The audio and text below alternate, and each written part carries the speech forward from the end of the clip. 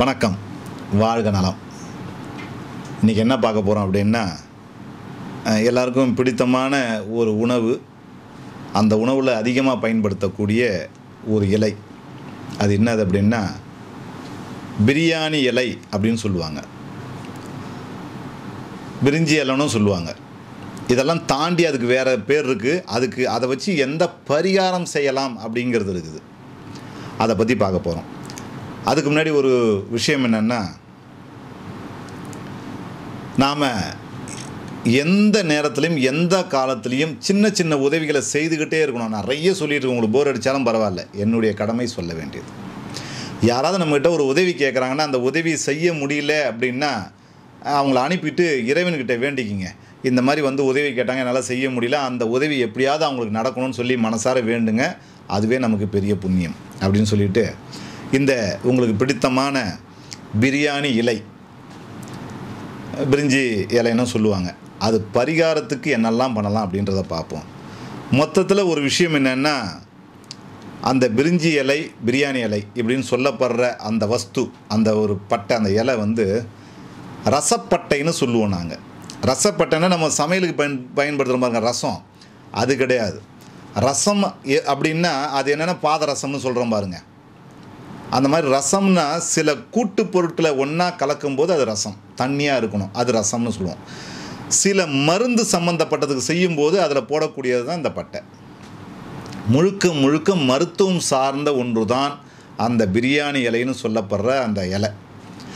அந்த மருத்துவம் சார்ந்ததை தான் நமக்கு சமையலுக்கு பயன்படுத்தி நம்ம சமையலுக்கு யூஸ் பண்ண ஆரம்பிச்சிட்டோம் அது. அதனால் அது பேர் அங்கே போயிடுச்சு. அந்த மருத்துவம் சார்ந்தும் பரிகாரம் சேர்ந்தும் செய்யக்கூடிய இலையை பற்றி நாம் இப்போ பார்க்க போகிறோம் மிக மிக வசிய சக்தி வாய்ந்தது தான் இந்த இலை. ரசப்பட்டைன்னு நாங்கள் சொல்லுவோம். உங்களுக்கு அது பேர் மறந்து போயிடும். அது நீங்கள் புரியலைன்றதுனாலே நான் இந்த பிரியாணி பட்டை பேர்னே சொல்கிறேன் அந்த பேர்லேயே நான் சொல்லிட்டு வரேன். எப்படின்னா மிருக வசியம்னு சொல்லப்படுறது. நம்ம வசியங்களில் நிறைய இருக்கும் பாருங்க. அதில் வந்து மிருக வசியம்னு வரும். இந்த மிருக வசியத்துக்கு மிக ரொம்ப முக்கியமானது இந்த ரசப்பட்டை. அதான் அந்த பிரியாணி பட்டை. மிருக வசியத்தை பண்ண முடியும். இப்போ நம்ம ஒரு ஒரு கடுமையான மிருகங்கள் இருக்குன்னு வச்சுங்க அப்போல்லாம் அந்த கடுமையான மிருகங்களை வசியப்படுத்த முடியும் இதை வச்சு. இப்போ நமக்கு அது தேவைப்படாது. நம்ம வழக்கத்தில் என்ன தேவை அப்படிங்கிறத பார்ப்போம். அதை வச்சு நாம் இன்றைக்கி கமர்ஷியலான வாழ்க்கைக்கு எதெல்லாம் பயன்படுத்த முடியும் அப்படிங்கிறத பார்ப்போம். இந்த இலையை இந்த பிரியாணி பட்டையை வாங்கிக்கிங்க. உடையாமல் இருக்கிற மாதிரி உள்ள முழு பட்டா கிடைக்குதான்னு பாருங்கள் முடியலன்னா அது கிடைக்காது. எல்லாம் மடிச்சேன்னா அது நீளமாக இருக்கும். அதை மடித்து உடைச்சி தான் நம்மகிட்ட தருவாங்க கடையில் வாங்கும்போதே. அதை கொண்டு வாங்க. கொண்டு வந்து ஒரு மண் பாத்திரத்தில் போட்டுக்குங்க. போட்டுட்டு பன்னீரை ஊற்றிடுங்க நல்லா நனையட்டும். நல்லா ஊறட்டும் அது. ஒரு ரெண்டு மூணு நாள் ஊறட்டும். ஊறினதுக்கப்புறம் இந்த பட்டையை எடுத்து தூக்கி போட்டுட்டு இந்த தண்ணியை வேணும் நமக்கு. இந்த தண்ணியை வீடு புறம் தெளிங்க. எப்பேற்பட்ட தரித்திரமும் விலகிடும். அதே தண்ணியை நம்ம குளிக்கிற தண்ணியில் கலந்து குளித்தோம் அப்படின்னா தேக ஆரோக்கியம் பெருகும். வசீகர சக்தி ஏற்படும். ஏன்னா இந்த பிரியாணி இலை வந்து முழுக்க முழுக்க வசிய சக்தி ஏற்படுத்தக்கூடியது தான் அதிலிருந்து வரக்கூடிய புகை அதாவது பிரியாணி இலையை எரிச்சிங்கன்னா அதுலேருந்து வரக்கூடிய புகை வசீகர சக்தி ஏற்படுத்தும் வீட்டில் நமக்கு. அந்த தண்ணியை நம்ம குளிக்கிற தண்ணியில் கலந்துக்கணும். என்னென்னா பிரியாணி இலையை வெறுமனை பயன்படுத்தக்கூடாது. பன்னீரில் போட்டு பன்னீரில் தான் அந்த சக்தியை வாங்கி அதுக்கப்புறம் குளிக்கிற தண்ணியில் கலந்தோம்னா தேக ஆரோக்கியம் மன மகிழ்ச்சி ஏற்படும். அந்த இலையை நிறைய எடுத்துங்க. வீட்டுக்கு நடு ஹாலில் வச்சுக்கிங்க. வச்சுக்கிட்டு அதை கற்பூரத்தில் அதாவது அதை அதை எரிய வைக்கிறது வந்து கற்பூரம் கொஞ்சம் வச்சுக்கிட்டு அதில் எரிய வைங்க. எரிய வச்சுன்னா அந்த புகை வீடு புறம் பரவும்போது வீட்டில் இருக்க துர்சக்தியோடைய சக்திகள் எல்லாம் நெகட்டிவ் எல்லாம் போய் நல்லா பாசிட்டிவாக இருக்கும். எனர்ஜி கிடைக்கும். வசீகர சக்தி முழுக்க முழுக்க வசீகரம் தான் அது. வசீகர சக்தியை அதிகப்படுத்துறதுக்கு அந்த இலைக்கு உண்டு. ரெண்டாவது நமக்கு ரொம்ப கஷ்டம் வீட்டில் வந்து நிறைய தரித்திரங்கள் கடன்கள் கஷ்டங்கள்னால் அந்த பிரியாணி இலையை எடுத்துங்க. மாலை மாதிரி அதாவது இந்த மா இலைய மா இலையை கோப்பாங்க பாருங்கள் அந்த காம்பாண்டை கோத்துக்கும். அதே மாதிரி கோத்துக்குங்க லைனாக ஒரு நூற்றி எட்டு இலையை கோத்துக்குங்க. எடுத்துன்னு போயிட்டு எங்கே அந்த பாம்பு புத்து இருக்குதோ அந்த புத்தை சுற்றி கட்டி விட்டுடுங்க. அப்படியே தரித்திரம் பூரா போயிடும். வீட்டில் செஞ்சு வீட்டிலேருந்து கொண்டு போய் அதை செய்யணும். அப்படி இல்லைன்னா அரச மரமும் ஆலமரமும் சேர்ந்து எங்கே ஒன்றா வளர்ந்துருக்குதோ அதில் கட்டி விட்டுடுங்க. அங்கே கட்டிட்டாலும் உங்களுக்கு வீட்டில் இருக்க தரித்திரங்கள்லாம் போயிடும். அதாவது இதே இந்த பிரியாணி இலையை நல்லா பொடி தூள் பண்ணிக்கிங்க. மொத்தம் பொடி பண்ணி கொஞ்சம் நிறைய தயார் பண்ணிக்கலாம். பண்ணிவிட்டு நம்ம குளிக்கிற தண்ணியில் ஒரு ஒரு ரெண்டு ஸ்பூனு மூணு ஸ்பூனு வெறும் வேறு எதுவுமே கலந்துக்க வேணாம். அதில் இது அது எதுவுமே வேணாம்.